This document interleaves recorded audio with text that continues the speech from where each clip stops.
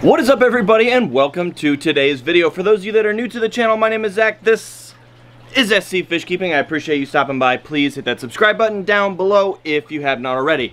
Now, today's video is kind of a crazy story. That's crazy. It's honestly something that I have never considered could happen.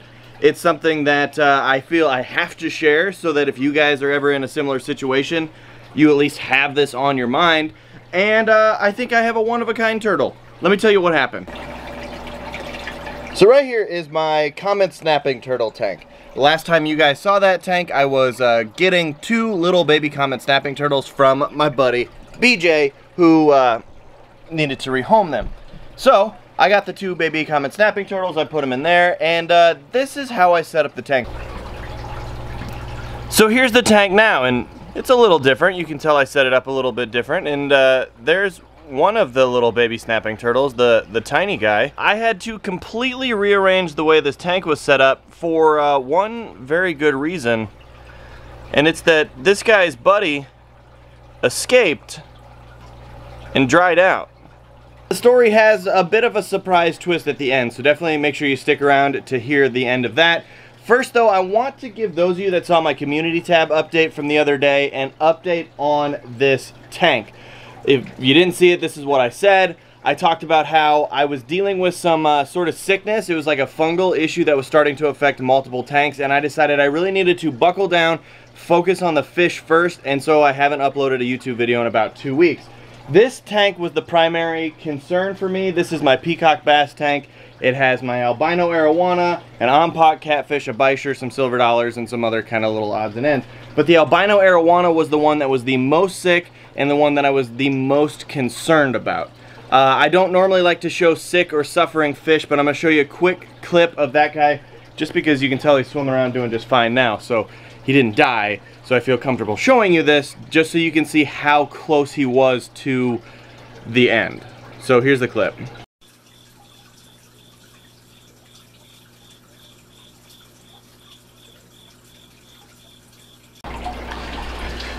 So as you can tell, he was really, really close to the end. And well, he's not still, he's not perfect. I mean, his fins are a little nipped up and those little kind of feelers on the front of his mouth are, are still gone. But uh, he's definitely better off than he was. The rest of the tank, I never noticed any issues with any other fish. I mean, none of the peacock bass had any problems. The little uh, ompok catfish down there, he was doing well. But uh, yeah, so uh, that's what happened. And if anyone's curious about the uh, medicine that I used, I used this stuff that I found at Petco that was recommended to me by a friend. I'm not sure if this is the right stuff, and I'm not saying like use this to treat all your issues, but I'm just saying that's what uh, worked for me. As you can tell, he's already eating too, so uh, he's, as far as I know, in the clear. I still have a couple more days of the treatment that I'm gonna do and keep the temperature high until those fins really start to grow back. But uh, I thought I was gonna lose him, and here he is. So yeah, I'm uh, obviously super happy to report that he is doing great and I really appreciate each one of you that uh, left a comment on that community tab post saying take your time, we understand. Sometimes, you know, with YouTube, you just really got to set that aside and focus on the fish, and so I'm glad I was able to do that with the support of, of you guys. But happy to report that I'm back, and you're probably like, Zach, stop rambling. What happened to that dang turtle? Well, I want I want to show you. I want to show you so bad, but unfortunately I didn't have like a camera set up 24/7. I was actually out of town for one night, and of course it's the one night that I'm out of town that he gets out. But uh, I still I actually managed to uh, hire someone to put together like a really really awesome reenactment of this. So uh, you know it costs a lot of money and a lot of time and effort, but uh, I think it's going to be worth it. So let me show you a reenactment of what I think happened to my snapping turtle.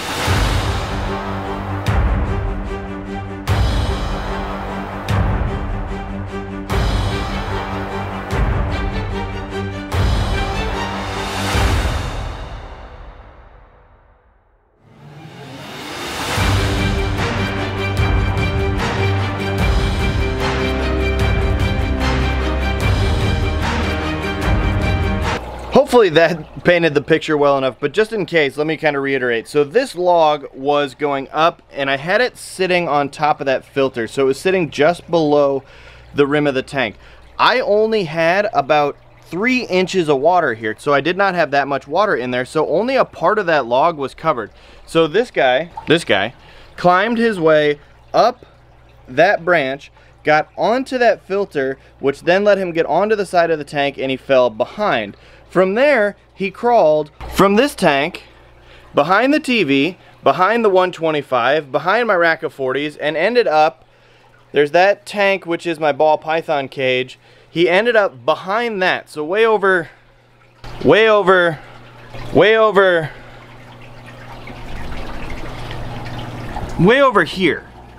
And this is where I found him underneath like a little one of these things that my kids have. Right there. So yeah, I don't know if you can really get a feel, but that's probably like 25, 30 feet, maybe it's 10, I don't, I'm bad at distances. Um, but he was behind this tank here, and unfortunately he was very, very dried out. When I picked him up, um, he didn't move, and his eyes were shut, and I mean, here's another picture, and you can tell just how dried out he was. Let me back up for one second. After I noticed he wasn't in the tank, because like I said, I was out of town, and then when I get back, I always check on everything. I was so confused as to why there was only one snapping turtle in this tank that I tore every rock, every branch, every pebble out of there and was digging through the fine layer of sand trying to find this turtle. I even woke up my wife in the middle of the night and said, hey, come look in this tank and tell me I'm not just missing this turtle. And, you know, she helped me find him and then we found him and, and like I said, he was dried out in the corner. So I picked him up. Unfortunately, he did not move. His eyes were still shut and I figured there was no way that someone could look like this and still survive. Well, surprise, surprise, after holding him for a little bit, his little eyes opened up. And then I realized he was still alive. He was just very, very dry. So I took the little guy, you know, this little guy, and I ran back over here. Speed, I know. And I set him back in the water very gently. I put him on a rock that was, I like put a rock in there, put him on top of it so he was still uh, able to kind of acclimate himself into the water, but it did not take long. As soon as he got in there, he just swam off the rock and then was just instantly better. I mean, he was fine. So there's a little guy, just cruising around doing his thing. And the big one is hanging out right back there. Hiding out in that little corner, making it hard for me to film him. So now you can probably understand why I needed to uh, rearrange this tank.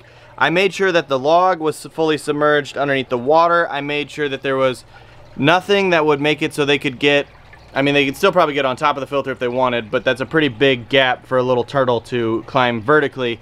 Um, I mean clearly he did some Ninja Turtle stuff.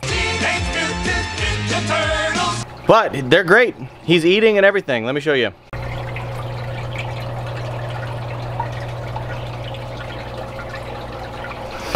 Just a little piece of tilapia.